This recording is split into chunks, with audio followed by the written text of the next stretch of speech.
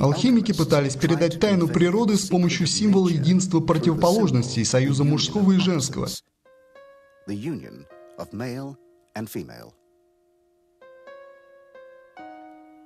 Но вместе с исчезновением алхимии это символическое единение распалось, и современный человек обнаруживает себя в материальном мире, лишенном души. Однако в сновидении мы входим в истинного человека, который все еще обитает в сумерках первозданной внутренней ночи, и который был все еще целостен, и внутри которого все еще была целостность.